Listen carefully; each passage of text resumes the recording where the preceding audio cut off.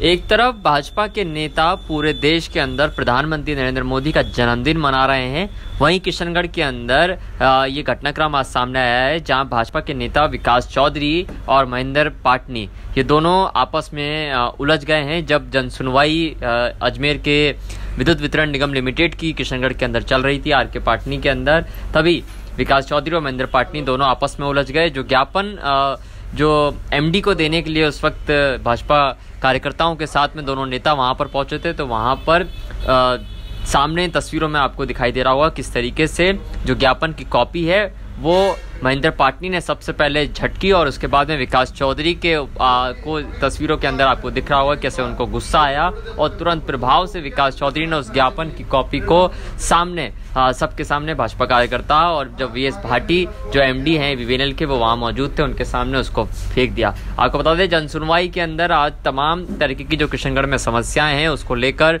भाजपा के कार्यकर्ता नेताओं के साथ वहाँ पर पहुँचे थे जहाँ पर उन्होंने बताया कि बिजली की अघोषित कटौती और बिजली के बिलों के अंदर जो बढ़ोतरी हो रही है, उसके खिलाफ उन्होंने वहाँ पर विरोध प्रदर्शन किया विरोध प्रदर्शन दिखाई दे रहा है हमको, वहाँ पर दिखाई दे रहा है कि किस तरीके से एमडी के सामने भाजपा के तमाम कार्यकर्ता और जो नेता वहाँ पर महेंद्र पाटनी है, वो विरोध दर्ज करा रहे थे, तभी विकास चौधरी का विकास चौधरी वहाँ पर ज्ञापन लेकर आगे आते हैं और उस दौरान महेंद्र पाटनी का गुस्सा इतना तेज था कि उन्होंने जो ज्ञापन की कॉपी थी, उसको छटकी विकास चौधरी के हाथ से, और विकास चौधरी को भी इस पूरे के पूरे घटनाक्रम में गुस्सा आया, और उन्होंने तुरंत प्रभाव से ज्ञापन की कॉपी को सबके सामने वहीं पर फेंक दिया।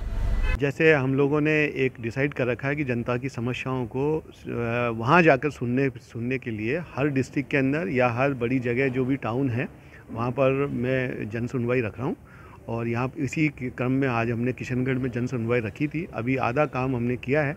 जनता से हम रूबरू हुए हैं उनकी समस्याएँ जानने के लिए और आधे जो लंच बाद का जो ढाई बजे से साढ़े चार बजे तक हम यहाँ की चूँकि एक बड़ा औद्योगिक क्षेत्र है और निगम को भी यहाँ से बहुत अच्छी रेवेन्यू मिलती है। तो औद्योगिक उपभोक्ताओं की भी जो समस्या है उनको जानने के लिए भी ढाई बजे से साढ़े चार बजे तक हम उनसे मिलेंगे। यहाँ जो आज समस्याएँ आई है वो ज़्यादातर आरई क्षेत्र से आई है। और किशनगढ़ प्रॉपर की भी बहुत समस्याएँ थी। ज़्यादातर इसके अंदर जो समस्याएँ हैं, वो लाइन ओवरहेड लाइन जो घरों के ऊपर से जा रही है, जिससे दुर्घटनाएँ हो सकती है, इस तरह की समस्या है कुछ बिजली से संबंधित समस्या है जिसमें वोल्टेज कम की या बार बार बिजली की जाने की है और कुछ समस्याएँ इस तरह की हैं जो मेन जो शहर है, उसमें ट्रिपिंग ज़्यादा आ रही है। ट्रिपिंग ज़्यादा के बारे के अंदर समस्याएँ आई थी। लगभग चम्बालीस से पैंतालीस चवालीस, पैंतालीस उपभोक्ता और जो विभिन्न मंच हैं, उन लोगों ने अपनी समस्याओं के बारे में अपनी प्रस्तुति दी है। उनके ऊपर हम सात दिन के अंदर कार्रवाई करेंगे। कुछ समस्याएँ ऐसी थी जो आज ही हो सकती है, उन पर आज ही कार्रवाई करेंगे। कुछ जैसे कनेक्शन लगाने से संबंधित थी तो हमने निर्देश दिए कि उनके कनेक्शन आज या कल दिन तक हो जाए। और चूँकि आज सैवैतनिक अवकाश है निगम के अंदर, इसलिए ज़्यादातर समस्याओं को हम कल की डेट में पूरा करने की करेंगे। एम साहब जो है, उनकी प्रेरणा से ही हमने ये जन सुनवाई आज यहाँ रखी थी और एम साहब का इसके अंदर पूरा सहयोग रहा। एम साहब की खुद की भी दो तीन समस्याएँ आपने बताई है। उनसे संबंधित भी, जिसमें एक मेन समस्या इनकी ये है कि रोड की वाइडनिंग तो हो गई है, अतिक्रमण हटा के। हमारे बिजली बोर्ड के पोल इसके अंदर आ गए हैं। और उनको हम आईपीडीएस स्कीम के अंदर लेकर और थोड़ा टाइम तो लगेगा 20-25 दिन एक महीना, उन पोलों को शिफ्ट करने की कार्रवाई।